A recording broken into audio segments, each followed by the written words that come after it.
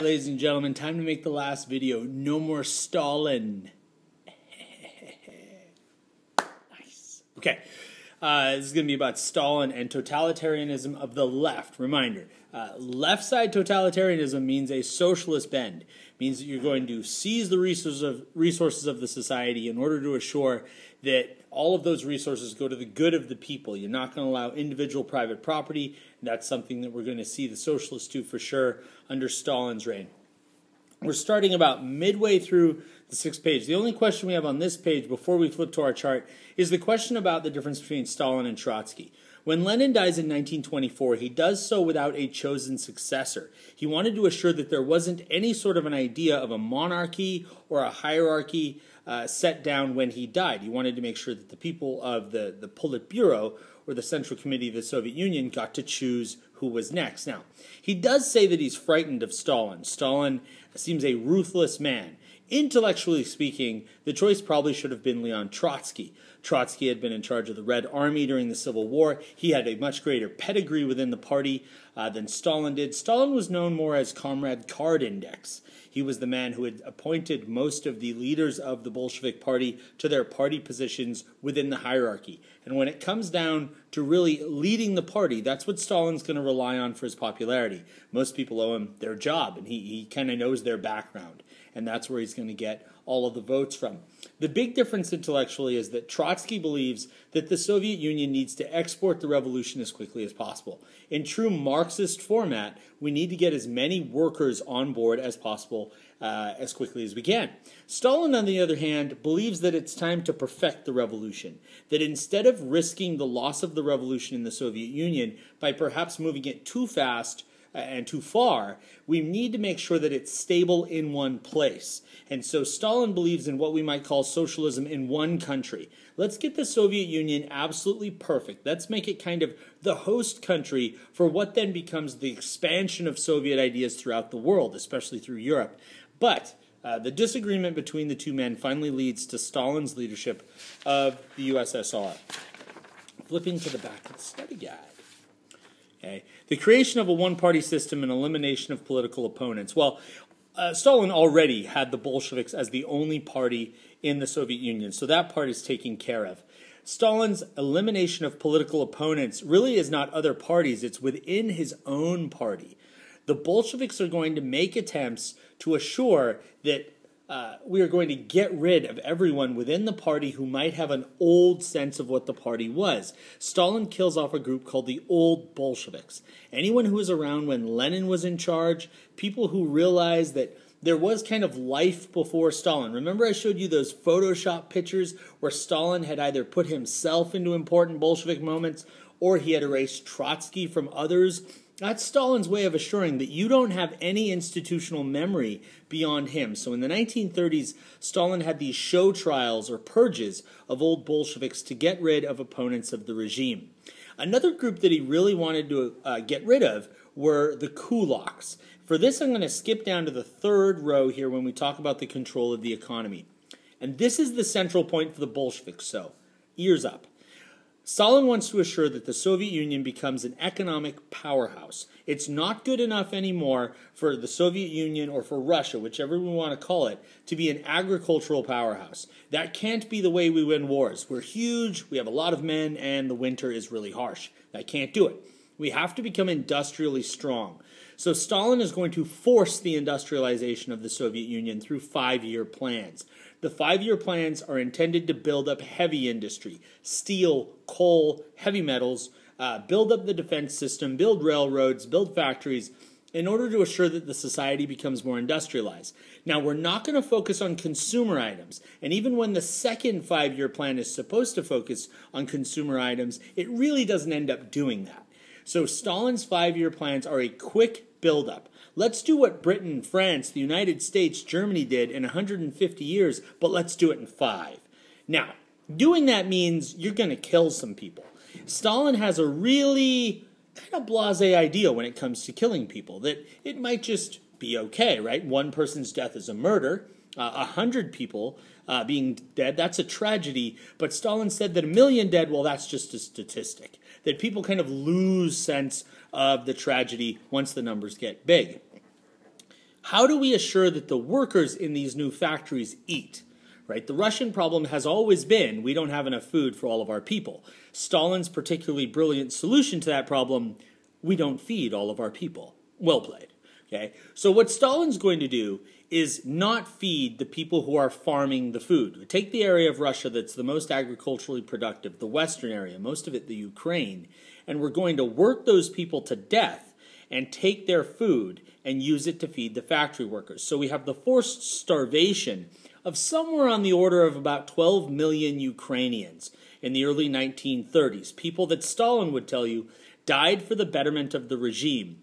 The collectivization, that's the key phrase here, collectivization of the farms under uh, the Soviet regime ends any private ownership. Those individuals who had gotten wealthy, the kulaks, who benefited from Lenin's new economic policy, we're going to specifically target them in our violence section. So, more on them here in a moment.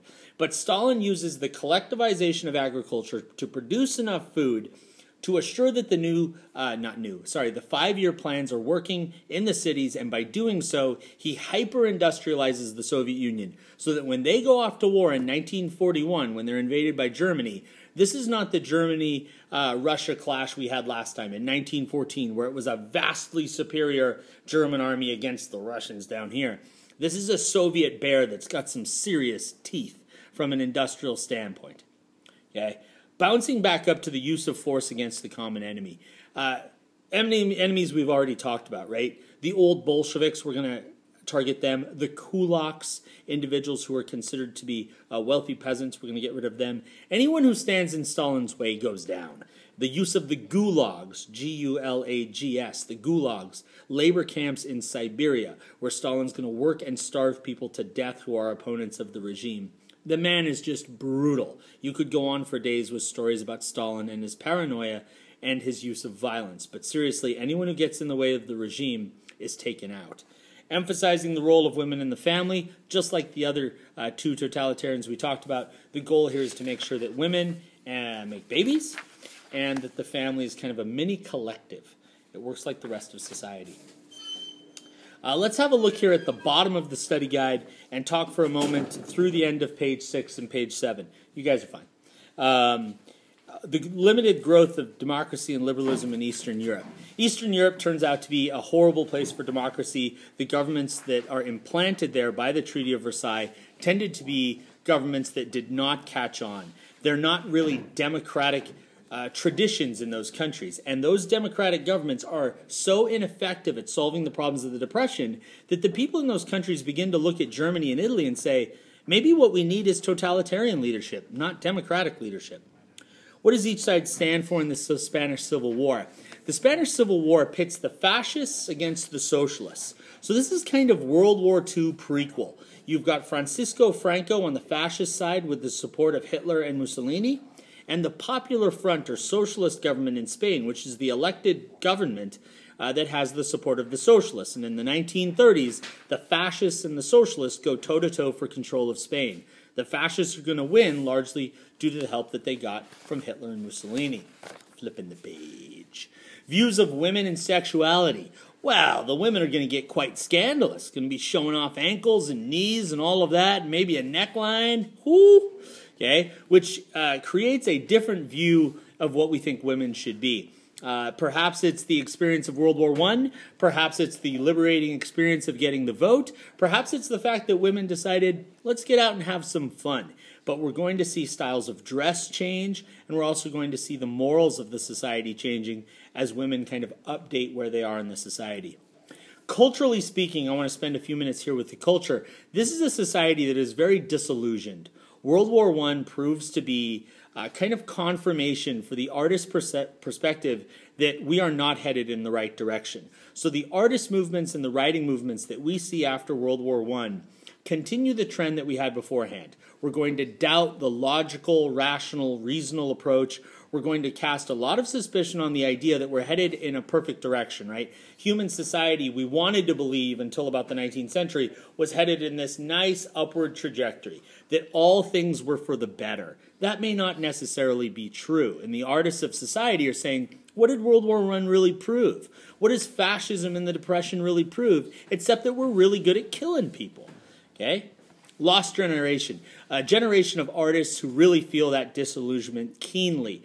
Uh, the person who coins that t- term, Gertrude Stein, becomes kind of the mama bear organizer, if you will, of a lot of Americans and English and French artists who end up together in Paris. Uh, Hemingway is there, T.S. Eliot is there, uh, a lot of other artists who felt akin to that movement. Dadaism, Dada is useless. That's kind of the, the idea of the movement. Everything in life has no order to it. It's useless. We looked at Dada art. It's kind of completely silly. Dada poetry would be a mix of uh, just words all over the place. What are we trying to prove? Stop looking for order. Stop looking for logic and reason and rationality in everything we do because it's not there. We're human beings and nothing's going to make sense in that way. We carry that over to, through to the movement of surrealism uh, which says that we should be using the unconscious uh, in order to understand our art. Uh, that when you look at a painting and I look at a painting, the painting is whatever we see it to be. Stop trying to be logical about it, right? Stop trying to be like, why wait a second, that horse's hooves are backwards. That elephant has really long legs. That's not what you should be looking for. You should be really using the unconscious to sort of unlock what that painting or that work of art brings out for you. Uh, leading proponent here is Salvador Dali. Dali's going to do some fabulous work that's it's, it's odd, uh, but don't look for the logical meaning. And then we have the Bauhaus movement of Germany, which kind of is an odd uh, attachment here. But Bauhaus is an architectural movement which shuns all of the ornament and the fancy, fancy style of the past. Don't give me columns with spinny things on them and spiral staircases and all sorts of ornaments. Give me a building that's functional. Give me that Bauhaus workshop in Dessau, Germany, uh, designed by Walter Gropius. Okay, give me that kind of a setup where I can see all of the things that are needed in a building. Don't build me Versailles. Don't build me something that has extra in it. I don't need it. Last thing, stream of consciousness. I talked in class about James Joyce's Ulysses, which is kind of the stream of consciousness work. Uh, it's an inner idea of what the artist or the character in the book uh, is talking about. You hear all of the thoughts, they're not organized in a rational, reasonable lineup.